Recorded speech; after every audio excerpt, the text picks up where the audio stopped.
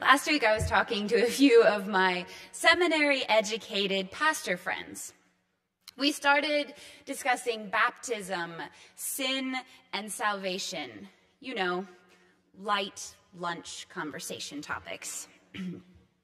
I noticed that sometimes the questions I expect to be really easy for pastors stump me. Like, what is the gospel?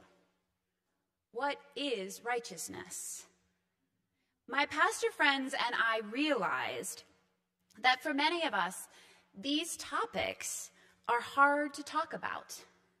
We don't have good language for them. We lean away from heavy language of condemnation and fear, but haven't found new ways to articulate the basics of our faith. So, with that as my backdrop, we approach Romans, a book that might get a bad reputation when it comes to misuse and feels like intense theology for this bright spring morning. This Sunday, we start four weeks looking at the book of Romans. This letter, written by Paul, is the longest of his letters in the Bible. Romans is different to the other epistles or letters of Paul. First, it is the only letter to a church that Paul didn't found. He hadn't even met the Roman church yet. I understand a bit more of the first 15 verses of this text as Paul introducing himself, trying to gain a footing with a group of people who don't know who he is. He is giving them a context for himself. In the same way that I would give some background when I introduce someone, and I want people to know why they would want to talk with them. For instance, this is my friend Alyssa who's visiting. We were roommates in seminary um, about 15 years ago. Yeah. Um, and she just finished up pastoring in Hamilton, Ontario. A little context. Some scholars note that Paul's language to the Roman church is more cool and dispassionate than some of his tone in letters to churches that he may be more familiar with. Paul offers a more sustained and careful account of his own positions and makes little clear reference to the church in Rome. These distinct features prompt earlier generations of scholars to identify Romans as a summary of Paul's thought. Unlike his other letters that were written to address specific communities and their problems. It also helps me to realize that Paul was most likely dictating his letter to a scribe we tend to speak differently than we write. I had one student who would write an entire paragraph without any punctuation. In getting them to start noticing where they might need to use some punctuation, I would have them read their work out loud to me, and when they felt like they needed to breathe, I'd say, that's a really good spot to put in some punctuation. If you notice, the first seven verses of this text have only commas. Thus, approaching the thoughts captured in these run on sentences can feel overwhelming. We are also switching from narratives, stories captured in the Bible, to a letter containing Paul's thoughts and theology.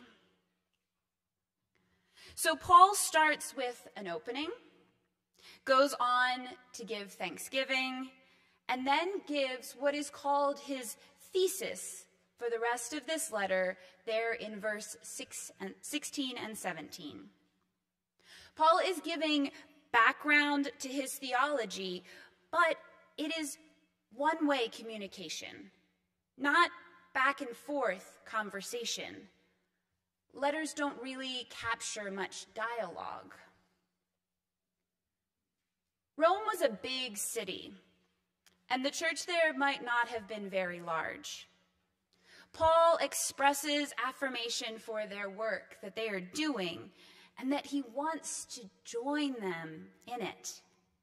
This big task that they share of including people from many backgrounds in the big tent of God's love and salvation through the life, death, and resurrection of Jesus.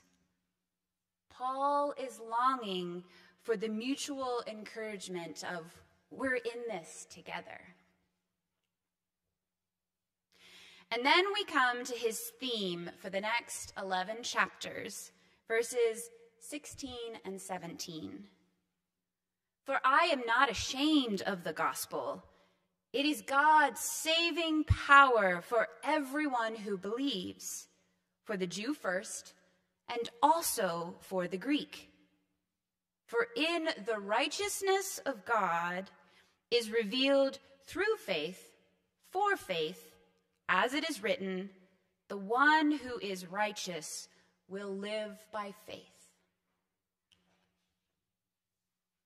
When we look at the life, transformation, and then work and teaching of Paul, it seems almost humorous for him to state that he is not ashamed of the gospel.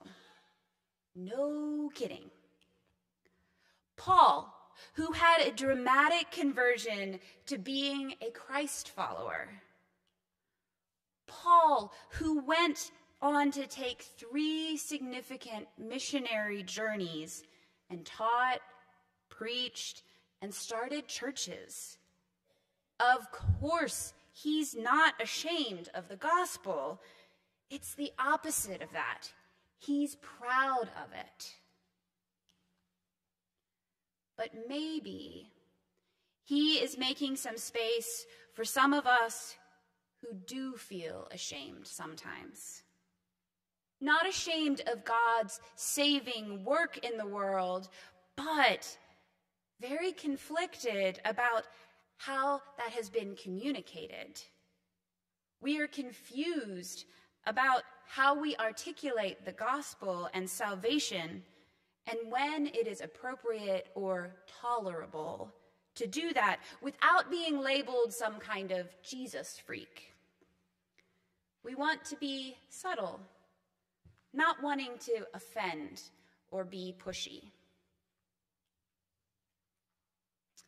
Mary Austin writes Paul proclaims that he is not ashamed of the gospel but I often find myself ashamed of the church and what we have done collectively in the name of the gospel.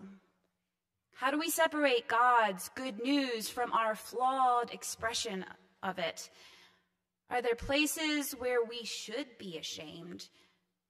Where do we find God's righteousness, as Paul calls it, mixed with our human frailty? Maybe Paul is being gracious to us there.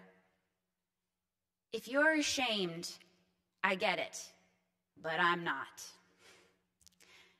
Yet, as we go on, these verses offer that it is God who is faithful to us first. We are inspired by the faithfulness and love of God and respond with faith and love. For many in the biblical text, salvation was understood as deliverance from physical danger, freed from Egypt, crossing the Red Sea. These were their defining stories. For us, it might be truer to say that salvation is deliverance from being caught in cycles of sin and thinking that we can save ourselves. God's desire for salvation is expansive. It reaches to us and even on to all of creation.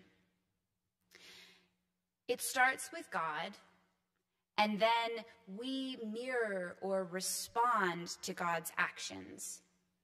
Humans are enveloped in God's justice and righteousness. It is a gift.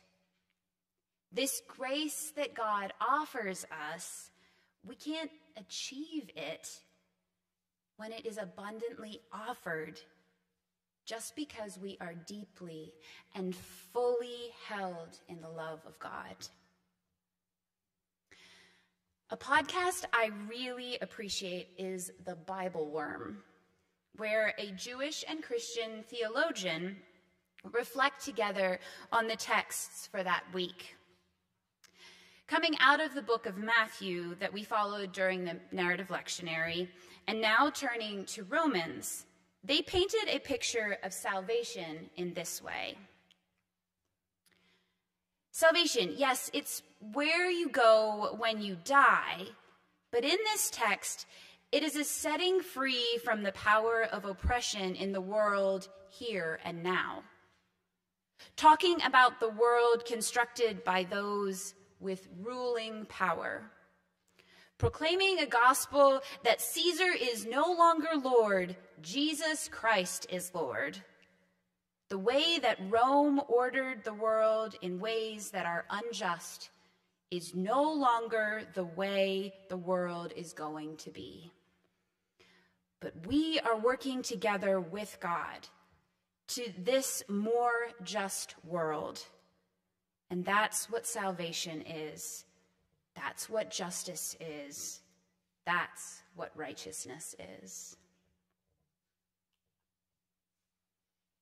God is acting in ways in the world that nudge the world closer to justice.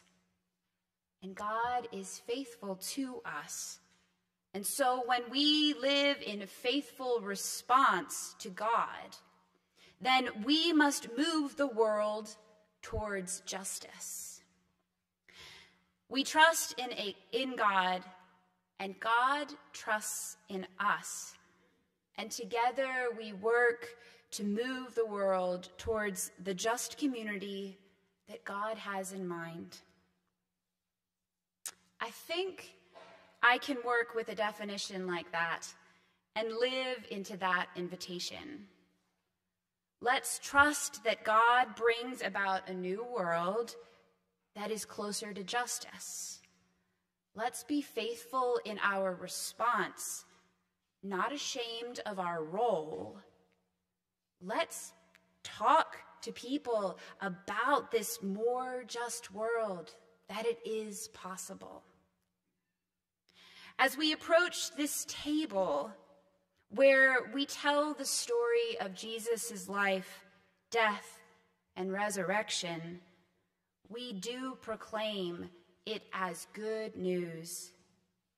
We are taking Jesus' life into us and allowing this community and our life together to shape us for the work of God's work in the world we are acknowledging that we don't have to generate this love and justice on our own, but that we do it in response to what God has already done for us. God has faith in us and with us. May we respond in kind to that faith.